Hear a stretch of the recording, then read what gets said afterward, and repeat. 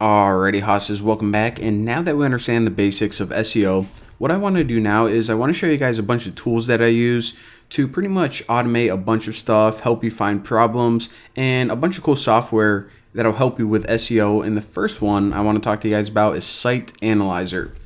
Now, if you go to siteanalyzer.com, go ahead and make a quick profile. And a lot of these tools, they have free plans and paid plans. So what you can do is you can actually watch these videos and if it looks like something you would, you know, ever use, then you can sign up for it. But yeah, I'll give you guys a quick little demo of it. So essentially what this is, siteanalyzer.com, you can probably guess by the name, but you put in your website and it scans it and it tells you all of the problems with it and gives you a bunch of tips of how you can improve your search engine optimization results. So, well, let me just go ahead and give you guys a quick demo. So this is the dashboard right here. And whenever you first log in, this is what you get. And you probably aren't going to be spending too much time here. This is kind of just a brief overview of, you know, your account. What you really want to do is you want to hop down to this right here, page analysis. So this page analysis is for analyzing one single web page. So say that you just want to analyze the home page, you can go ahead and run that now this crawls right here, I'll talk to you guys more about this page analysis in just a second, but this crawl right here, this is whenever you want to crawl your entire website, so every single page on it. So even though you of course want to improve every single web page on your website, whenever you just first get started um, using this tool, I always recommend just scanning the home page first. Now the reason for that is even though you want to improve a bunch of pages, a lot of the problems that you're going to find on your homepage, they're going to be the same problems on all your web pages. So let's say that whenever we scan this homepage, so again, just type in the URL right here and hit analyze, and it's going to take a bit of time. What it's going to do is, let's say it returns, um, hey, your titles are too long. Well, I don't need to scan 500 web pages on my website in you know it says the title's too long the title's too long. So that's why I, like i said i always recommend just doing one at a time. So let's see what we got for my home page. All right. So you see that whenever we analyze a page it takes a couple seconds and then it gives us our results. The first one is just an overall score and this is just site analyzer score from 0 to 100 so my website not very good 59.2 it actually used to be a lot worse but we're working on it slowly. You know, there's a bunch of other crap I got to fix on it first. But whenever it scans it, like I said, it gives you the score. It also gives you a quick summary and problems or issues that you can work on. So here are all the problems right here. Um, it needs a H1 title, a heading 2, um, some micro data, yada yada. It needs a sitemap. We're in the process of making that right now. So if you just want some real quick overviews or tips on how you can improve, then go ahead and check that out. But a cool thing about this is it actually breaks it down into individual categories as well. So this is your summary. If you click on SEO, what this is is pretty much a section of think of it how Google views your site.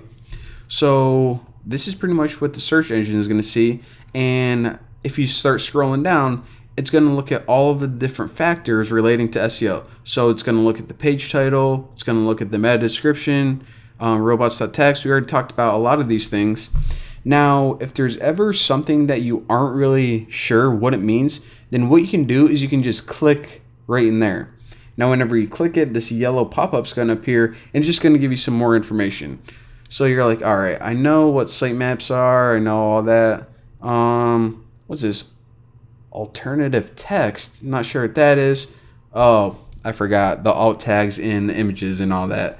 So there you go. And another cool thing is you're like, all right, I know that I need alt tags in my images, but uh, what images are they talking about? This one, my face, or you know these icons at the top. If you just click see images, they'll say, hey, you need to add alt tags to these images right here. Those are the ones we scan. So it's pretty much just telling you, you know, every single thing you need to know, which is pretty sweet. So that's what the SEO tab is. Now the content tab, content is essentially, as you know, it's pretty much the information about the text and the keywords on your page. So I already told you guys that Google likes pages with lots of content on it.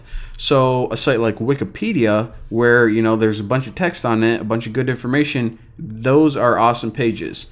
Now my homepage, you can see we really don't got that much text. We got this little chunk right here, you know, a couple of these little snippets. But again, this is the homepage, not that much text. So I really don't got, you know, that great of a score. Um, I don't know, maybe like some of the forum pages would be better. But again, whenever you're making web pages that you want Google to index and rank high, make sure that you have a large amount of text rather than, you know, just like a little slideshow type site. I hate those everyone probably hates them, and uh, Google doesn't like them either. So again, that's what content is. Pretty much the actual content, keywords, um, you know, all that stuff. Pretty self-explanatory. Now let's hop over to design. So this says design, but it's kind of like design slash development. This is more of the technical aspect of your site. So you can see things. So basically, this is what you would show your web designer or web developer. Like, hey, you need to fix these things. So stuff like doc type, char set, basically making sure that your website follows all the proper guidelines and also make sure that your site is safe and secure. If Google finds a vulnerability or something like a big security issue with your site, that's actually a ranking factor, so you aren't going to be ranked as high in the search results.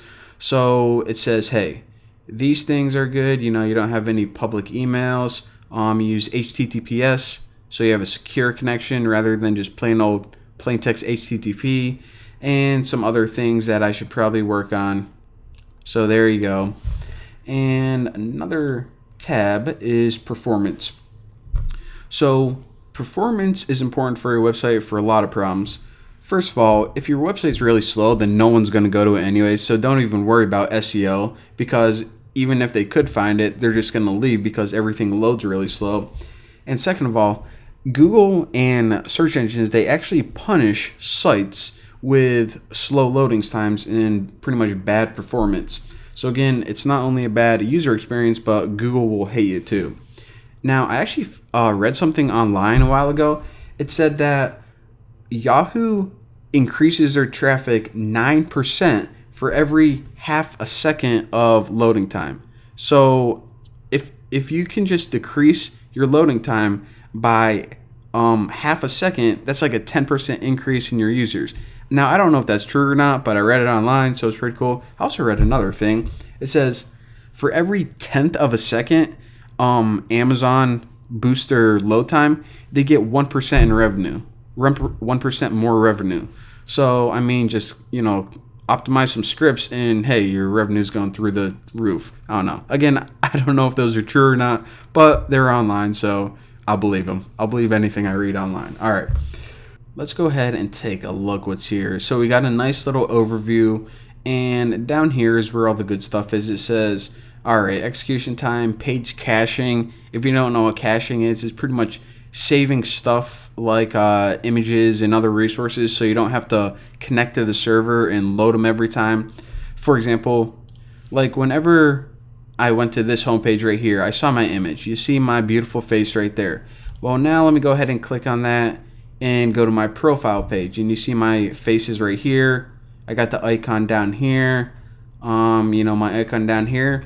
Now, anytime I want to see this icon, you know, clicking back and forth, going to different pages, that means it has to connect the, the new Boston server and load that image again.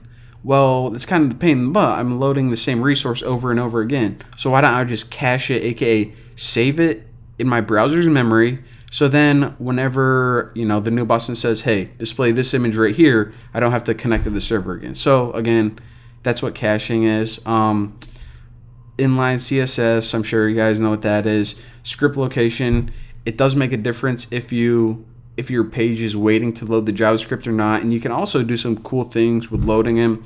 But yeah, that's what this tab is. Go ahead and click on any of those for details. And this last one is accessibility. So this has to do a lot with user experience and also it's a huge boost to make sure that your site is responsive make sure that your site looks good on every single device, whether it's tablets, whether it's, you know, just phones, of course, desktops and laptops. So again, Google actually started uh, punishing sites that weren't responsive a little bit ago.